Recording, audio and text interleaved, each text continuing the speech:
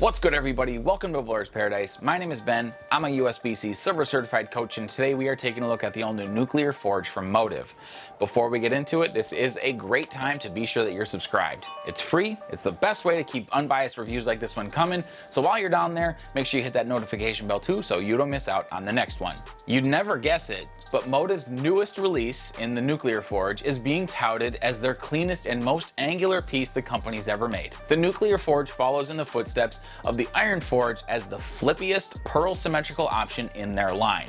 Inside the Nuclear Forge is the same core as all of the other forges, the detonator core with a low 2.47 RG and a high 054 differential, and this time is wrapped in the Propulsion HVP pearl cover finished to 5500 grit polished out of the box. Notably, this cover formula is technically new to their line, however is derived from the covers used on the Ripcord Launch and the Supra Rally. For the layout, I went with a 4.5 by 5 by 4 2LS layout. This is the same as what I had on my IQ Tour Ruby, as that's been one of my favorites and most reliable symmetrical pearls for the last few months, and even though these two pieces aren't identical, I see them filling a very similar place in my bag, and on the lanes, I think we actually have a truly angular high risk, high reward type of shape from Motiv. This Nuclear Forge looked okay to the right of fourth arrow, catching a few good hits as I moved inside, but once I got to the place where the ball could actually use the oil for 40 feet and be about as clean as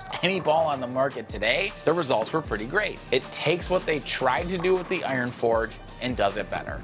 Normally sequels like this one land flat and don't live up to the hype, but since this one takes a truly unique place in the Motiv lineup, I think it's a great addition. Having a ball that runs sideways off the spot isn't always the right answer, but when you need it, it's the only thing that works. So motivated bowlers are sure to be pleased adding this one to their bag. But for most, this is going to be more of a situational type piece than a go-to benchmark type ball.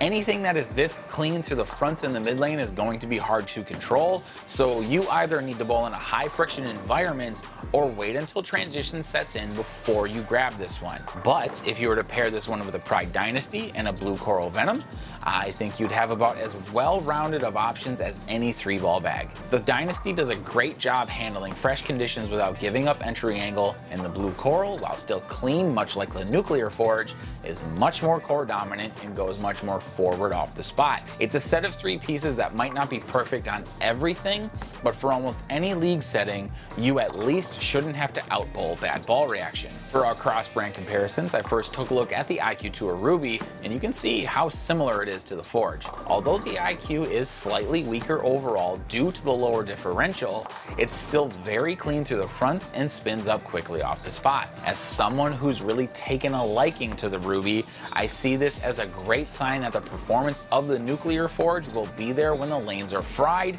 and I need one that will get down the lane and through the pins just right. Second, I grabbed the all-new Ethos from Brunswick, and first it's pretty obvious how this one is more balanced between core and cover strength, as well as being stronger overall. That HK22 additive in the Ethos really gets this thing to jump off the friction, which when thrown to the correct spot is great, but when I miss, I pay the penalty. If you're looking for a do-everything type pearl, this one may suit you better than the Forge, but you also better be ready to adjust the surface as necessary. But with that, let's jump to the recommendations for the bowlers I think would match up well with the Nuclear Forge. The first is bowlers with a high axis of rotation. This is a purposely designed piece or Motiv, and those with a lot of axis rotation will be able to maximize on this ball's capacity to run left off the spot. It'll be a situational kind of use for these players, but for a situational ball, I think that's okay. The second is bowlers who bowl in high friction environments. If you're still bowling on wood or are in a center that you struggle with having to move inside early and then can't carry a 10 pin, the Nuclear Forge will give you a look that will stay on the correct side of the head pin and get into a good roll that will certainly get the corners out. The all-new Nuclear Forge from Motiv adds a great, unique piece to their lineup, and adding it to your arsenal just might be the thing that causes your competition to go into meltdown.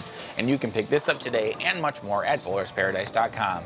Be sure you use that discount code YouTube at checkout for free shipping. Thank you to my friend Nick Pluff for the drilling of this piece and to Dales Weston Lanes for letting us film this video. If you haven't yet, like this video, subscribe to the channel, hit that notification bell for more ball and product reviews, and as always, remember you guys, having the right ball in your hands Now that's a bowler's paradise. Peace.